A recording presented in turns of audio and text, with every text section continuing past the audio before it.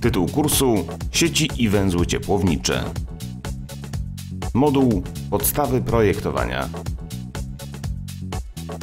Temat Funkcje programu Audytor OZC.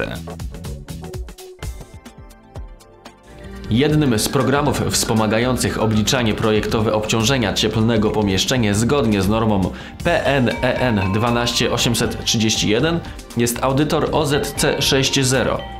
Dziś przedstawię wybrane funkcje programu. Zaprezentowany moduł umożliwia obliczenie współczynnika przenikania ciepła drzwi i okien według normy PNEN ISO 10077-1.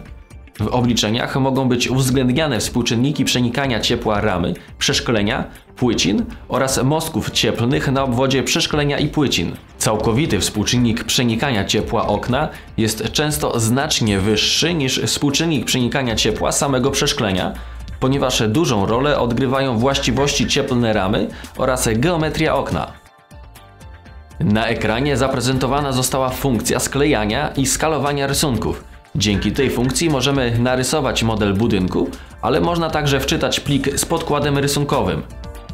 Wczytywany plik może pochodzić z odrębnego programu do tworzenia rysunków.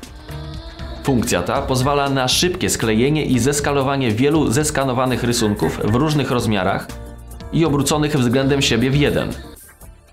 Kolejną funkcją, którą chciałbym omówić jest analiza wilgotnościowa przegród budowlanych. Dzięki temu modułowi możemy analizować jak zachowuje się wilgoć w przegrodach budowlanych.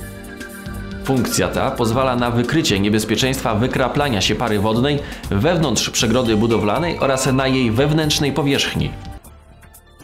Modułem, o który warto wspomnieć jest również moduł zużycia energii. Audytor OZC oblicza zużycie energii na potrzeby ogrzewania i chłodzenia według aktualnej normy PNEN ISO 13790-2009 Energetyczne właściwości użytkowe budynków. Obliczanie zużycia energii na potrzeby ogrzewania i chłodzenia Katalog programu Audytor OZC zawiera około 25 tysięcy grzejników, co daje możliwość doboru grzejników we wprowadzonych pomieszczeniach. Kolejną z wielu funkcji programu Audytor OZC jest funkcja zmienne obliczeniowe. Jest niezastąpiona przy sporządzaniu audytów energetycznych. Daje możliwość sparametryzowania modelu budynku. Omówione funkcje programu to zaledwie kilka wybranych. Zachęcam do pobrania programu i zapoznania się z pozostałymi funkcjami na stronie producenta. Dziękuję za uwagę. Materiał został opracowany w ramach projektu Model systemu wdrażania i upowszechniania kształcenia na odległość w uczeniu się przez całe życie, współfinansowanego przez Unię Europejską w ramach Europejskiego Funduszu Społecznego.